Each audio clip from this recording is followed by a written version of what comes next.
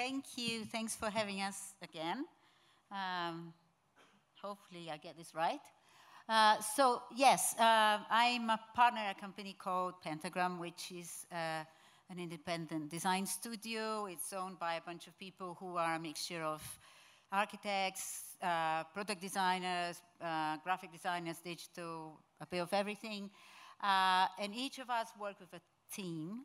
Uh, and that's why I start by saying this, because I think my work is very much teamwork, and we couldn't do the kind of things that we do if it wasn't done really collectively. Uh, it's not solo at all. And uh, quite a few of them are here tonight, which is an honor. So before I talk about Kubrick, um, I think I'll just show uh, a very uh, quick clip that shows some of the work that we do in branding and so on, uh, because in a way, um, my, my work has been very much about a mixture of things and branding and graphic design being at the center of it, but I've always been interested in film. That's why, as, as uh, mentioned, I made this feature film uh, a couple of years ago called Red Trees, which is now on Netflix. And we do, uh, as a team, uh, and the team participated very much in that, but we do create films sometimes. And all of that uh, um, kind of has been leading us to do more and more exhibition design as well, which is a, a combination of so many skills. So first show a, a brief uh, slideshow of a few of the things we've been doing.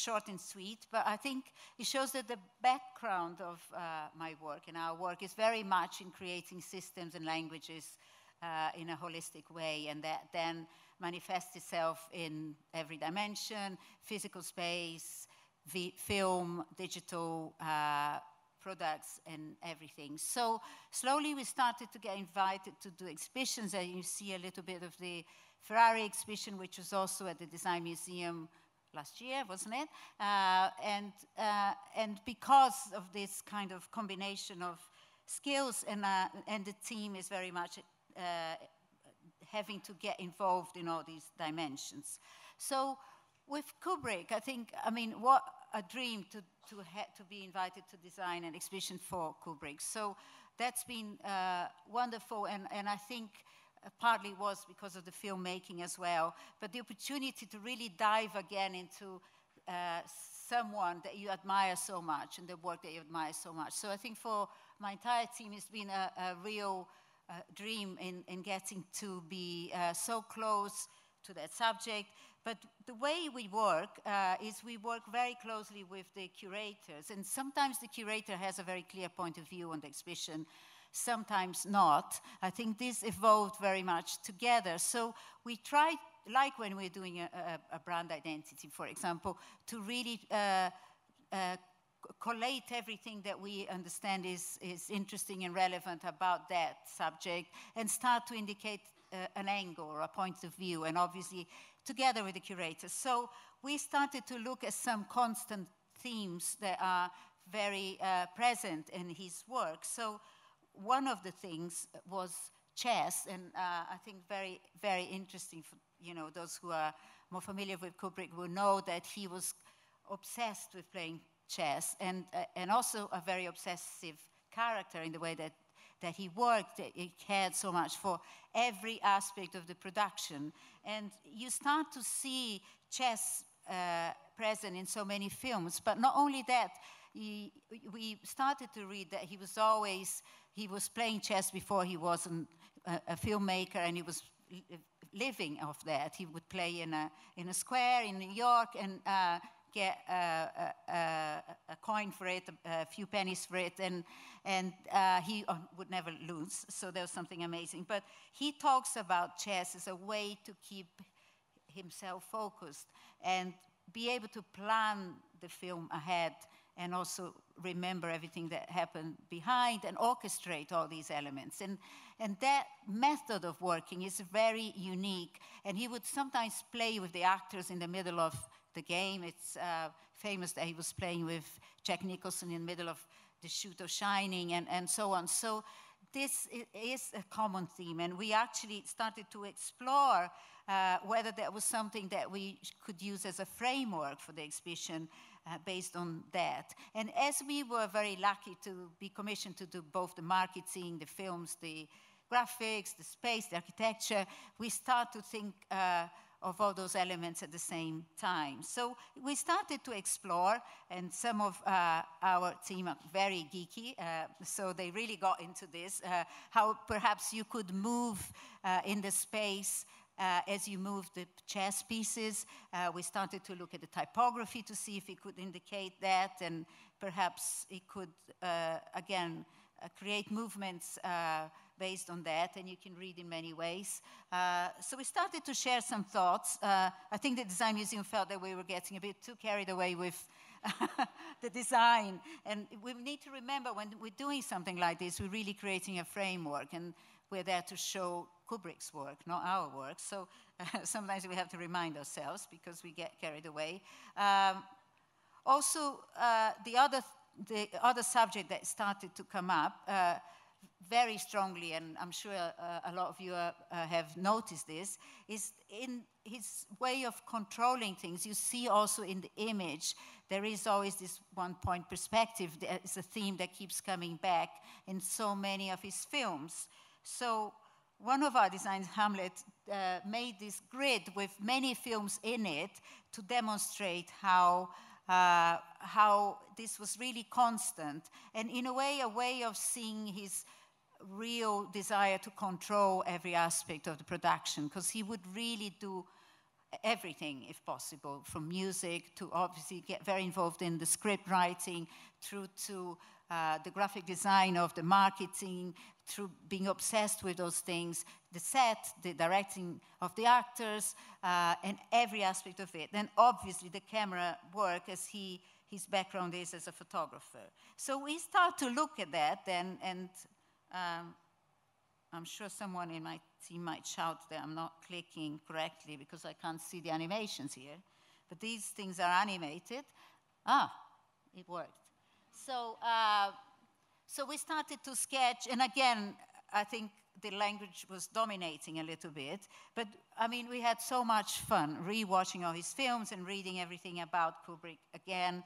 And we were very keen on this route. Uh, for both the space and the, the possibly for the posters and all the marketing materials that really use that perspective thing as a way of in a way representing the director's eyes in, in the way he saw things and controlled things uh, and this absolute symmetry um, I think they didn't find that this was commercial enough, and everyone wants to see a picture of either Kubrick or the main actor in a film or something. So, uh, despite our love for this route, uh, which also was, and we don't have time here, expressed in the space uh, in many ways, we kept exploring things. But you see a bit of both in the exhibition if you, um, if you, if you go, if you have a chance to go.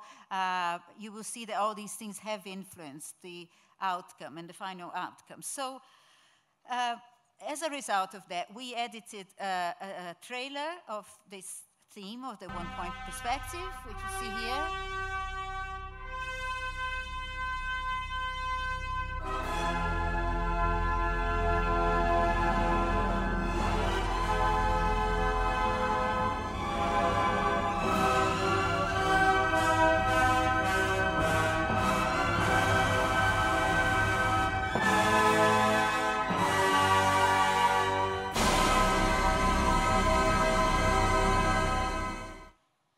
And then I think, I mean, that's why I say so much of a, a teamwork because there's so many aspects that you have to put together to create the storytelling. And it's not when you're like you're an architect designing a house, it's really creating a narrative and then how that narrative can work in the space. Can you, how can you fit everything in the space? How can you express all the, the ideas in that? So those, we receive lists and lists, and our designers sit and spend hours and nights, and I'm sure they are nodding their heads now here, uh, just to make sure that we, with the curators, organize and make sense of all of this.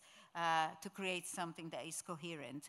And then using the themes as we have been talking about and all of that in mind, we have to come to some kind of sketch of how you navigate this space, how you perhaps can enter through the single point perspective, how you then create uh, worlds, uh, which are the, the, individual films. And this was very much a requirement from the curators that we could create and rep replicate a bit the world of each film.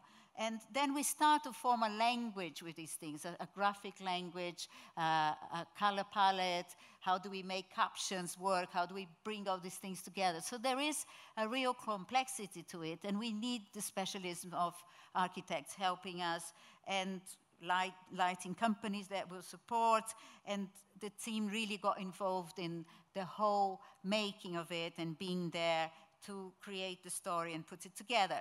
So after that, we come to a design which then starts with the carpet of shining in the atrium, which is, um, uh, you know, really the teaser.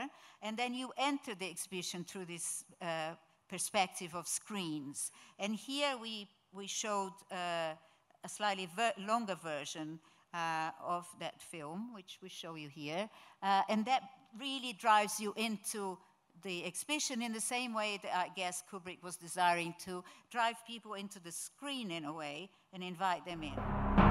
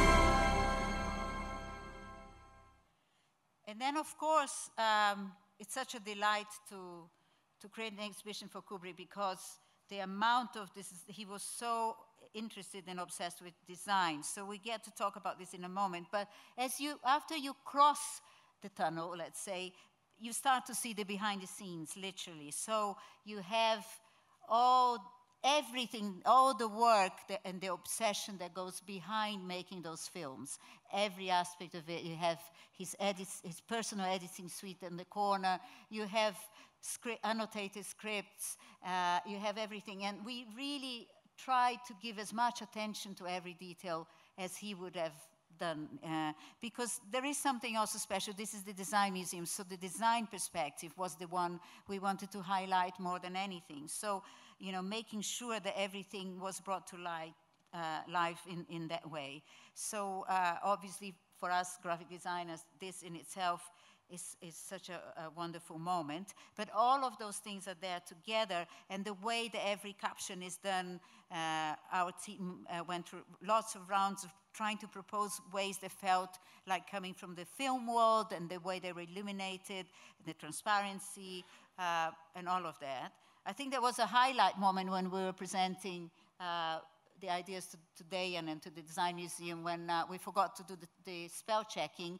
And uh, when Stuart was presenting, uh, the slide came up and said, eyes wide shit, which was, was uh, a touch. So we always remembered that ice white shit moment. So as I said, after this central space with all the process room, in, in the process room, all the, the, the, details, we get into all these uh, spaces and the color palette of every film and the stories behind how they, that was made. And with Kubrick, he almost in every film led to a new invention in terms of technology and equipment. So we, for example, use the, the lighting uh, with candle lighting for uh, Barry Lyndon, which is the way that it was shot. And many of these things are highlighted in the space. So here our job is just really to do justice to all these wonderful things we have to display and put more attention to the design aspects because of where we are. Um, and I think uh, uh, we, we forget how much uh, Kubrick was foreseeing the future, and especially when you get to the space station, which in the original plans was going to be the full space station. Uh, you know, the way that he anticipated how branding was going to be used in our times, even in space, uh, we don't remember uh, or think about this, but never, no one had ever seen the moon or, or the, the, earth from the space. And so he creates this image, which you don't know if it's the moon or another planet or the earth, but it's dubious enough, and he tries to imagine that. So all of these details, and he collaborated with so many brands to, to imagine what technology would be with IBM, for example. So when you look at the monolith, how much that is what the tablets are today. So all of that is just amazing material that we had to play with. And as I said, I think the team went really obsessive with looking at every proportion, so the proportions of the numbers would uh, correspond to the keyboard in the typewriter, and the way this is lit is really in a way that relates to film.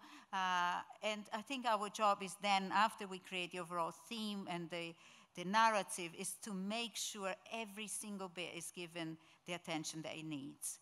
Um, and that is more or less it. I think, uh, as I said, you couldn't do work like this without a wonderful team of people, uh, and it's completely collective. Uh, so thank you to the guys, and they're here. And thank you for inviting us again.